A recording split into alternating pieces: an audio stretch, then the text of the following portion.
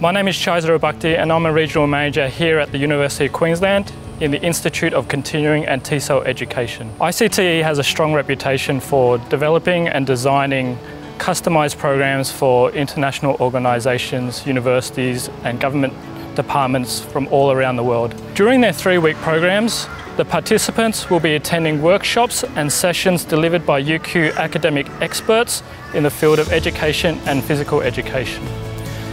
They will also have the chance to visit local schools to learn from our Queensland school teachers and also visit relevant site visits. ICT has a long history of working with Indonesian government agencies and university partners in the collaboration of high quality professional development programs.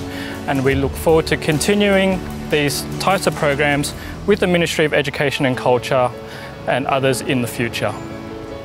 My name is uh, Michalis Stylianou and um, I am the convener for the Bachelor, uh, Bachelors of Sport Health and uh, Physical Education. So we train um, health and physical education teachers um, here.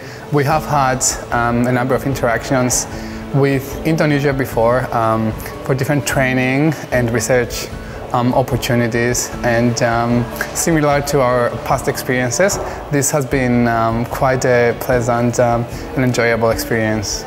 So for the students as a professional development opportunity to be intensively in uh, the context of an Australian university working with uh, experts, um, teachers and students and being able to ask questions and make connections and perhaps reflect on and be challenged by certain things I think is um, invaluable and probably a once in a lifetime for, for any of us really.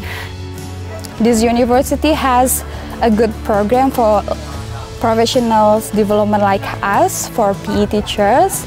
So we can strengthen our knowledge, we can strengthen our skills about our teaching style.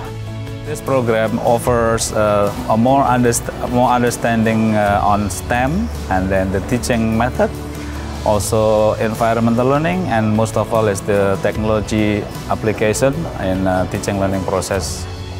I like most about teacher training at ITC is TGFU. Okay, we like to take it and we get a lot of knowledge about TG, TGFU and I like to learn more about constraint and about three principle. Okay, I will take it to my uh, school and I will apply to my country.